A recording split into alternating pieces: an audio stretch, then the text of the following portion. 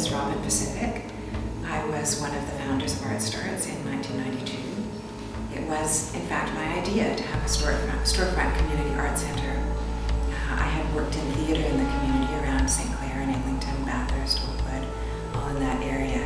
And I, I always thought it was community theater, popular theater, uh, in the mid-80s. And I always thought it would be just so much fun to do this in a storefront so that people would come in off the street the time I got around to actually working on that, uh, I myself had gone through a transition from being a theater artist to a visual artist.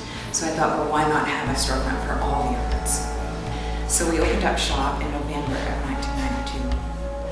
And I remember thinking that after about four months, we were where I thought it would take us two years to be. It just took off. When I had that trial run in a storefront on Eglinton, it was closer to Dufferin. And uh, people would come in and chat with me while I was sitting there making my art.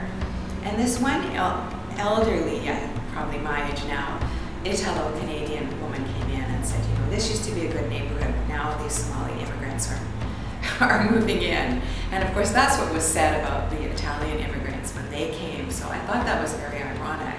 And then I found out that a, large percentage of Somali people who were coming to Toronto actually spoke and do speak Italian because uh, Somalia was, part of Somalia was an Italian uh, colony.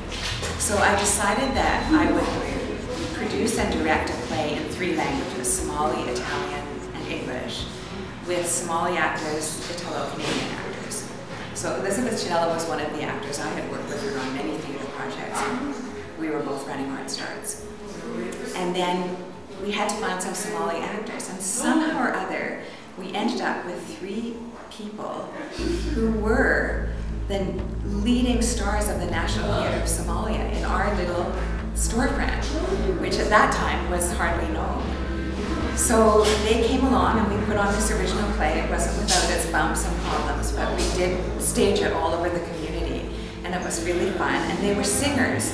Before the civil war in Somalia, there was a, a dictator, and there was extreme oppression and extreme censorship. And what they did was they would write these songs against the dictator and they would circulate them on um, CD, not CDs, what were they called then? Uh, tapes, ca cassette tapes.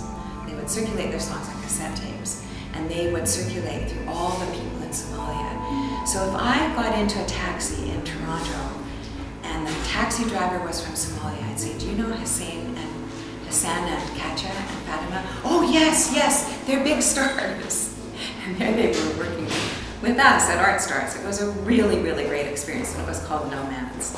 And people were fine with the fact that it was in three languages. Most people could only understand one of the three, although people from Somalia mostly understood all three. Uh, I should make a tribute to all the artists who worked at Art Starts. There have been hundreds of them over years, and they've all been wonderful. It's been an extraordinary group of people.